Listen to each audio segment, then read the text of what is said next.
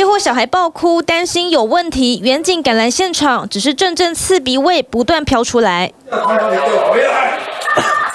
才待不到一分钟，就呼吸困难，想咳嗽。没想到走进主卧房一看，枕头着火了，周围都是可燃物，就怕蔓延会一发不可收拾。远警赶快扑灭火势，但浓烟还是散不去。哎，在房间内有呃烧烧东西，然后现在。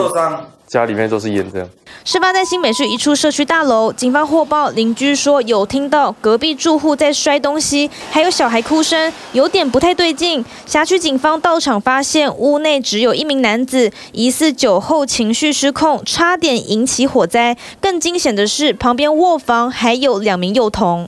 家人电话，小这这家人的电话，不然就安家里没有电话。没有人的，他说座位起来，没有人。警方调查，四四岁的吴姓男子是一名房仲，因为跟前妻关系不睦，心情不好就喝酒，有抽烟习惯。这回不顾家中小孩年纪还小，竟然把枕头点燃，差点酿成火警，事后被强制送医。警方也帮小孩申请紧急保护令，并通知他的前妻把孩子接回去照顾。TVB 新闻王金荣、黄静芬新北市报道。